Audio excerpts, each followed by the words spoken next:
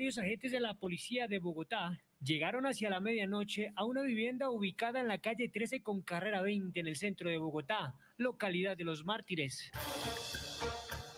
Según testigos, el dueño de la casa sintió un olor a alcohol en algunas habitaciones que había arrendado a algunas personas hace pocos días.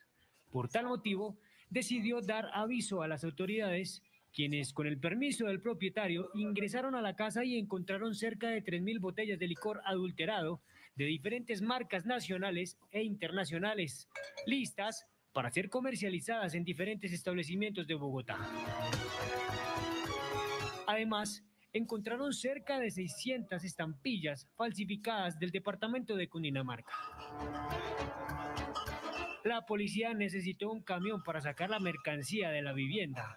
Al parecer, este cargamento estaría evaluado en más de 450 millones de pesos. Los sujetos encargados del licor adulterado no se encontraban dentro del lugar, por lo que no se realizaron capturas. Sin embargo, le siguen la pista a los responsables.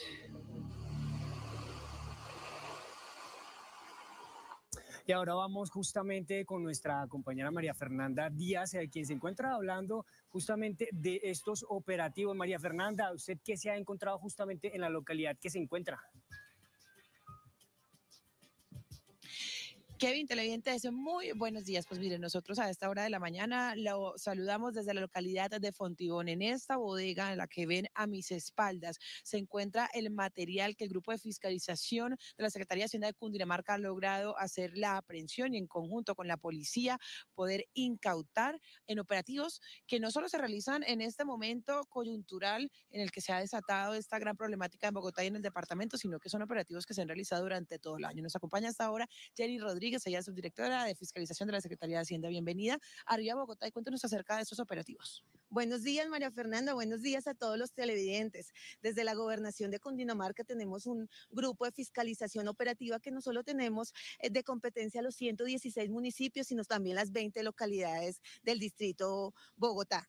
Eh, de acuerdo a la ley 1816, nosotros tenemos una participación del 10.5 en el distrito Bogotá, realizamos operativos todo el año y tenemos unas estadísticas de 231 operativos con cierres de establecimientos de 204, multas impuestas a los establecimientos de comercio por más de 650 millones de pesos. ¿Qué material se ha podido, a qué material se le ha podido hacer esa aprehensión? Recientemente hubo un nuevo también licor que lograron eh, pues eh, retener de operativos de este tipo. Sí, ayer estuvimos en un operativo en Plaza España, fueron 120 botellas de licor venezolano que la pusimos a disposición de la bodega al Popular. La bodega al Popular es un contrato que tenemos desde el 2021, es un contrato de prestación de servicios donde se hace todo el almacenamiento. Hoy también estamos haciendo la destrucción. La semana pasada hicimos 17 toneladas de destrucción y hoy vamos con 17 toneladas más, más o menos 50 mil unidades de elementos para destrucción. Precisamente este proceso de destrucción se va a realizar en horas de la mañana en cabeza del gobernador Nicolás García. Sí, a las diez y media estamos ubicados en el municipio de Soacha con el contrato de destrucción que suscribió la Secretaría de Hacienda del Departamento de Cundinamarca subdirectora, cuéntanos un poco acerca precisamente de este grupo de fiscalización, cada cuánto se realizan estos operativos, cómo se realizan, cómo llegan a estos establecimientos comerciales por alertas de las personas, cómo pueden de pronto las personas que eh, saben que se está de pronto vendiendo alcohol adulterado en algún sitio, en algún establecimiento comercial, poder alertar a las autoridades.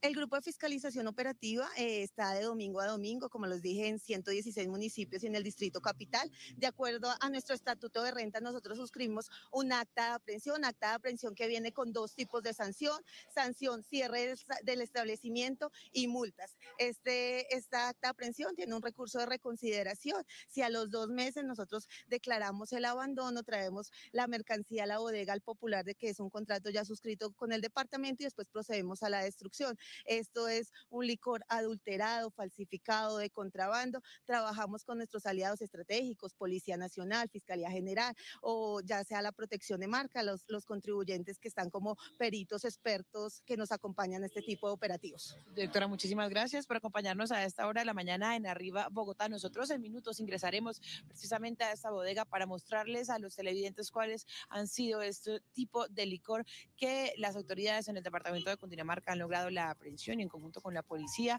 pues lograr la incautación. Nosotros, Kevin, eh, Sandra y Aníbal, por el momento los dejamos con mucha más información a esta hora de la mañana aquí en Arriba Bogotá, que sí le responde a la ciudad.